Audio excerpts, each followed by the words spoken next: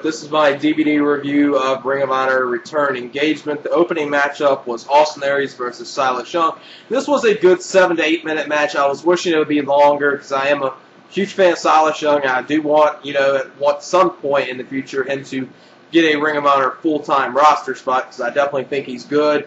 Saw some good back and forth action in here. Um, saw this was pretty much kind of a squash, but uh, Silas Young did get in some offense.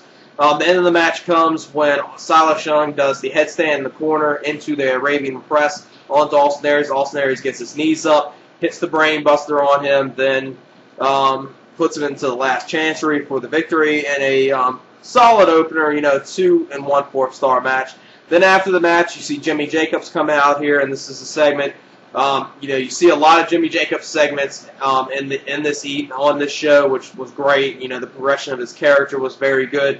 This was the part where Austin Aries officially, you know, announces that he's not joining the Age of the Fall. Very good segment. Um, then after this, you see um, Jimmy Jake. During this, um, he uh, Austin um, Austin Aries mentions that he uh, slept with Lacey, so this gets Jimmy Jacobs pissed off. He says, "I'm not going to believe it." So then after this, you see it's what looks like a student match is about to happen with Alex Sugarfoot Payne and Mitch Franklin. Match never happens. Jimmy Jacobs comes comes back out here, calls out Necro Butcher, and has Necro Butcher go in here in a handicap match against them and just beat beat the living hell out of them. Pretty much a squash match. You know, beats them so bad. I, I can't remember if Mitch Franklin was bleeding, but I do I do remember that Alex Sugarfoot Payne was busted open real bad, and then the end of it comes when he choke slams him and pins both of them, and then calls out Morishima for their match. Calls out Morishima, you know, saying I'll meet you at the Hammerstein for their match. And um, you know, since it was pretty much a squash and not really a match, I ain't gonna give it a rating, but good stuff from Jimmy Jacobs so far in the evening. Um, then after this, uh, you see Adam Pearce and Brent Albright versus Claudio Castagnoli and Pelle Primeau. And this is one match on this show that I didn't like at all for some reason. I was expecting it to be at least pretty decent because Claudio and Albright, I know they do good stuff between each other before. Pele, you know, he works pretty good, you know, with, you know, the big men that's very powerful, kind of like Brent Albright. So I was expecting this at least to be good, but for some reason or another, it didn't, it didn't click. It wasn't that good. The end of the match comes when you see Claudio and Albright um, taking on each other in the ring, back and forth.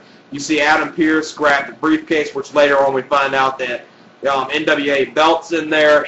Um, tries to hit um, Claudio Claudio with it. Claudio ducks and he hits Albright. Then Claudio hits the Ricola Bomb onto Albright for the victory, and I would say a two-star match. One of those matches that I could probably have dealt without with on this show.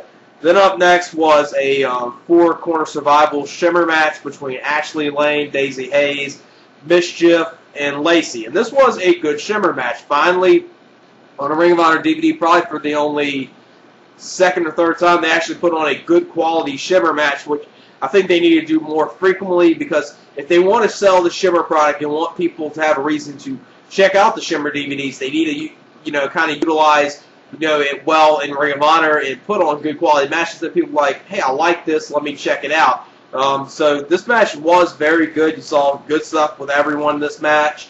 Um, MsChif get, picks up the victory after hitting the Desecrator onto Ashley Lane in a three-star match. You know, a very good women's match. Then after this, um, Jimmy Jacobs comes out here. Um, Lacey's still out there, and Lacey says he's uh, she's through with him. Then you uh, see him kind of uh, break down, start crying. She walks up the ramp. You see Austin Aries waiting for them to make out the stage in front of Jimmy Jacobs while he's still in the ring. You see him have a total breakdown and start crying. You know, another great segment from Jimmy Jacobs, which a lot of the segments in his progression of his character, like I said, was great during this show. Then up next was Chris Hero versus Delirious. And this was a good match. Good back and forth action. Uh, really enjoyed it. Um, as far as Chris Hero's serious persona, I do like that and like that he has a new gimmick now instead of you know the comical gimmick that he has. Not sure how much I'm feeling this whole knockout gimmick where he's went in by a knockout forearm or a roaring forearm, whichever one you want to call it. Um, he does the same thing in here to Delirious, but you did see some good stuff in here. Um, he hits it, hits two roaring, roaring elbows to Delirious in about a two and a half star match. Pretty good. Um, then up next was the match of the night. It was um, the Motor City Machine Guns and Chris Sabin and Alex Shelley versus the Briscoe brothers, and obviously this was not as good as the Good Times Great Memories match from last year, but this was a damn good tag. You know, I'll say the one thing if you compare the first five to ten minutes between both matches, the first five to ten minutes of this match was much better. Pretty much this one um, started off fast and kept going. You know, a lot of fast-paced action, a lot of good back-and-forth tags, um, a lot of good in-ring psychology from um, the Motor City Machine Guns, a lot of good tag team wrestling from both teams, and really showcasing why these two teams are, you know, easily, I wouldn't even say arguably, but I would say easily are the two best tag teams going today. And, you know, definitely a great tag team match. Really enjoyed it. A lot of great stuff. Um, Alex Shelley uh, and Chris Sabin pick up the victory after Alex Shelley hits a super Sliced Bread onto Mark Briscoe for the victory in a four and a half star match. And know some people might think I'm overrating it just a tad bit, but I really enjoyed this match. You know, it was a great tag and you know delivered what I thought it would. I obviously had it, it probably had a lot of high expectations to some people. Some people probably were expecting it to beat last year's, but I kind of knew they wouldn't because that, that that would be hard to top that match they had in Good Times, Great Memories because that was probably one of the best tag team matches I've seen in Ring of Honor history and probably one of the top tag team matches I've ever seen. And then up next, after this, the Age of the Fall come out here. They attack the Briscoes, and this is when they do the angle where uh, Mark Briscoe, Mark, Bris- Mark Briscoe earlier injured himself and had an aggravated arm in a Pro Wrestling Noah match. And he kept working on it, and at this point, he uh, had to uh, have they had to do an angle to get him out. So instead of just saying he was injured, they did this angle where um, Jimmy Jacobs comes in there, stabs Mark Briscoe in the arm with the uh, railroad spike. Just a great segment, just showing the anger that is building up with um with um Jimmy Jacobs in this evening was great. You know, a lot of great stuff. Um, and a good tag match too. I'm glad you know they saved the Jimmy Jacobs stuff for after the match, not in the match. So know, just great stuff there. Then the next matchup was Kota Ibushi versus El Generico. And this was a great match like you would expect. Um, a lot of good back and forth action, a lot of fast-paced action. You know, these two are very good. Um, Kota Ibushi, uh, all his four matches that he had in Ring of Honor in April, all were great matches, and pretty much one of the huge reasons that you know you would want to see the shows for is his matches, and definitely like to see him more in Ring of Honor in the future. I know he's going to be working the uh, Ring of Honor Japan shows coming up in about a week. I think it's um, 13th and 14th of September that they're doing that. So definitely can't wait to see him in Ring of Honor more. Um, and this was a great match, like you would expect. Uh, Kota Ibushi, uh, Phoenix Splash onto El Generico. A lot of good back and forth action in the match. Um, just a very enjoyable match. Four stars.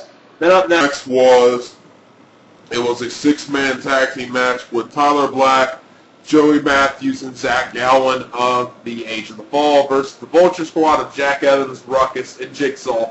And um, this match, it kind of had weird placement on this show, but the stuff that happened after the match made sense for it being positioned at this part of the match. Um, it, was a little disappointing match. Um, thought it could have been a little better, but with having Joey Matthews and Zach Gowen in there, you probably weren't expecting that much from it. Um, Tyler Black did his best to carry his team through this match. Um, him and Jack Evans did some good stuff. You, know, you saw some good stuff from Ruckus and Jigsaw in this match.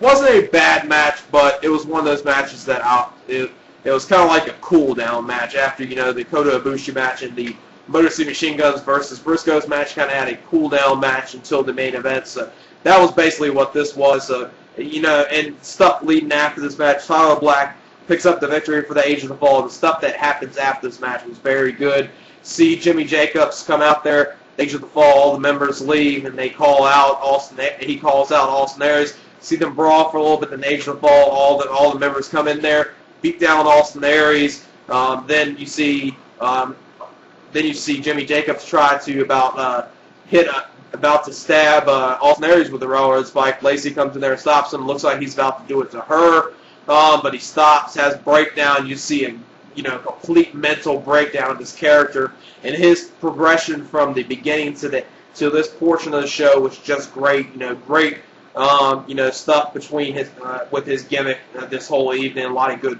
storyline progression with Austin Aries and Jimmy Jacobs. A lot of great stuff with him as well. Um, then you have the main event with Kevin Steen versus Nigel McGuinness. Pretty much just like their match in Justice. Nigel McGuinness Um, does a um, cheap tactic to pick up the victory here. He holds onto the tights of Kevin Kevin Steen. Um, but still was a good match. You saw some good stuff in here. End of it kind of hurt it a little, but not too much. It helps out, you know, Nigel McGuinness, char- Nigel character. Had to get some good heel heat for you know winning uh, winning matches against this second time he's done this. Kevin Steen, and I would say even with the ending, about a three and one fourth star match. Overall, I would give this DVD an 8.75. You know, great stuff on this DVD. If you're a fan of Jimmy Jacobs, I would definitely recommend this DVD for you. Kota Ibushi had a great match, and the Briscoes and Moses Machine Guns had a great match. This is a show I would recommend to anyone. Definitely, I think you would enjoy it. And um, yeah, that's it. Peace.